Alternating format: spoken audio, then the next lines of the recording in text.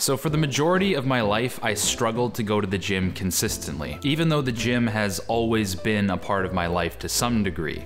I grew up playing hockey, and all my brothers played hockey and went to the gym, so going to the gym was always the right thing to do, but I could never stay consistent. Even into university, sometimes I'd go two weeks straight at the gym and then take a month off. I'd try to get into a groove and hype myself up, and I really wanted to look like Thor and then I lost my hair. The whole point of this story is to let you know that if you relate to this, I've been in that exact same place, but I've managed in recent years to develop a tremendous consistency at the gym, and it takes me a lot less effort to get there than it previously ever has. And I can credit this a lot to a particular mindset I've adopted when it comes to doing things that I find difficult or boring, and sort of tricking my brain into liking these things. I've also been able to apply this strategy to other areas of my life, most specifically to reading books and editing videos. Essentially, what I did is I stopped generating motivation by thinking about an end goal, and instead I learned to enjoy the process. So, first of all, what's wrong with visualizing an end goal? Why not use this image of this beach body or Greek god physique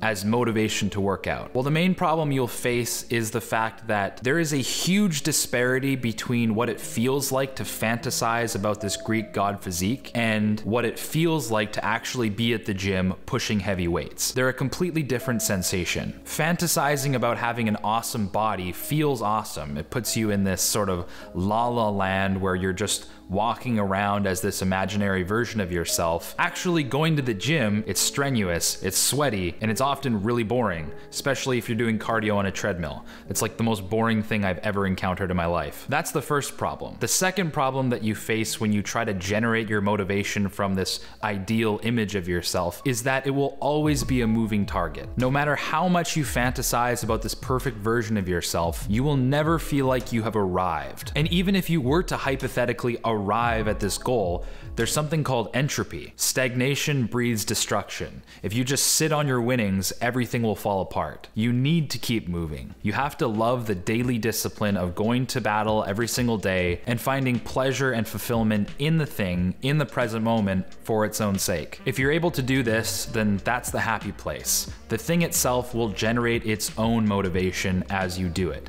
and you can become fully immersed in the activity you're doing. So, am I saying it's bad to have goals in general? Not at all. Goals are really good for creating direction. Having an ideal is sort of like having a compass. It's leading you in the right direction. You should take a glance at it for reference, but in the day-to-day struggle of actually doing the thing, it's not what you should be focusing on. So now that we know why it's kind of unhelpful to always think about this end goal, now you're probably thinking, how do I learn to enjoy and embrace difficult things and have it be an integrated part of my life? So there are two things that really help me do that. Number one is more of a mindset shift and it's more inner work. And number two is more of a practical, strategic thing that you do to yourself. Okay, so number one is to operate from an abundance mindset rather than a scarcity mindset. When you think to yourself, I need to go get jacked, do you think that's an abundance mindset or a scarcity mindset? Ready? Begin.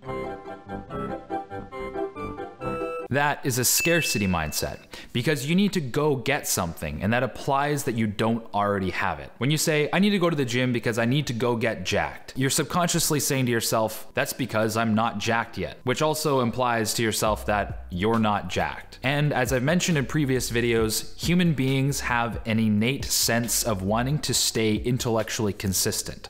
Whatever you think your identity is, you will operate accordingly. So if you are constantly telling yourself that that you are not jacked. What do not jacked people do? They don't go to the gym. When you look at it that way, going to the gym will always be something that's outside of yourself. It's something that's unnatural for you. Why would you go to the gym if you're not jacked? So am I saying you should do some like woo woo thing and pretend that you're jacked all of a sudden? Like force yourself to know that you are, in fact, a giant beast. That's not what I'm saying, because that's not true. Instead, try reminding yourself that the reason why you want to go to the gym is because you're an active person. And going to the gym is something that is important to you. Your health is important to you. So, since you're an active person, going to the gym is just something you do. That gets rid of a ton of mental resistance in the way of actually going to the gym. You can use this exact same method for reading books. If you're constantly telling yourself, like, oh, I have to go read books books to get smarter. Oh, I have to go read a book now. Like, obviously, you're not gonna have a good time while you're doing it. But if you identify as somebody who enjoys reading books, it's something that you like doing, it's just a part of who you are, then you're way more likely to actually follow through with doing it. And if you think this is just some woo woo crap, this is how some of the greatest musicians, athletes, and performers operate. Take John Mayer, for example. I was just watching one of his Instagram live videos where he was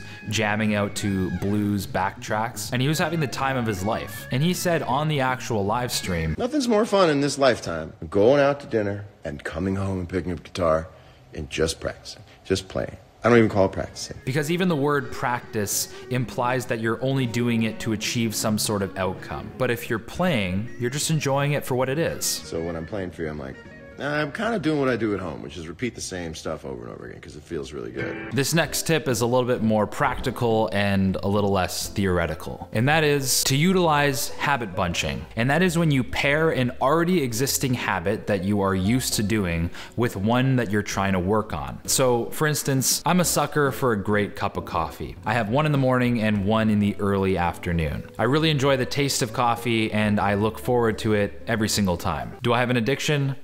Yes, but I can leverage this filthy habit of mine into working on another habit. A great one to pair with a coffee addiction is reading, and that's exactly how I started reading more books. Every single morning, next to my coffee maker, I placed the book that I wanted to read next to it, so that when I made my coffee, I knew to pick up the book, and I could only drink the coffee if I was reading the book the entire time I was drinking it done. And the crazy thing about this is, eventually, you just start getting used to reading, whether you have coffee or not. The action of opening up a book and reading becomes a lot more natural. It'll become something very pleasant to you. That's so much better than reading for the end goal of becoming smarter. Like, what does getting smarter even feel like? It doesn't feel like anything. It's not like in the Matrix where they download Kung Fu onto Neo. All of a sudden you just feel it. Habit bunching also works really well when you're trying to develop a gym habit. If you have an album that you are currently in the habit of listening to and you crave the sound of Post Malone's beautiful,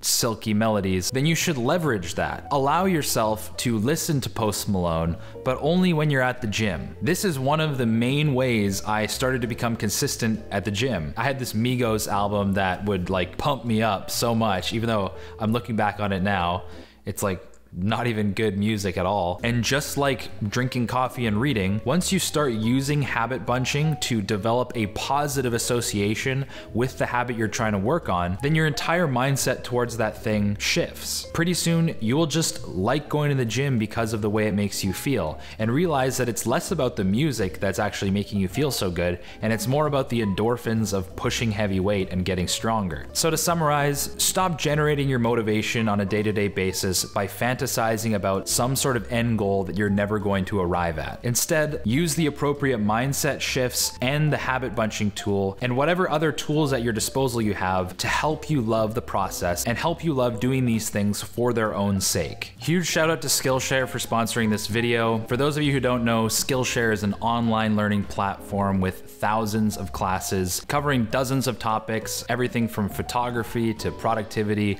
to learning how the stock market works, which is actually the exact topic that I've sunk my teeth into recently on Skillshare. As I build my business and start making more money, I know that it's only a matter of time before I start investing. Unfortunately, I know pretty much nothing about the stock market, and it's always been something that I really wanted to learn more about, which obviously if I'm going to invest in the stock market, I would want to know what I'm doing first. Luckily, there's this awesome class that I discovered on Skillshare by a guy named Business Casual, and he has two classes on just an introduction to how the stock market works and how all the different elements come into play, and I feel my mind expanding already. Pretty soon I'm to be like Eddie Morra from Limitless and just start making millions of dollars overnight. Skillshare is offering Better Ideas viewers two months completely free off a premium membership if you use the link in the description, which means right now, absolutely free, you can check out Business Casual's class on the stock market and learn as much as I'm learning right now. After your free trial expires, Skillshare is actually actually still very affordable. If you sign up for the annual membership,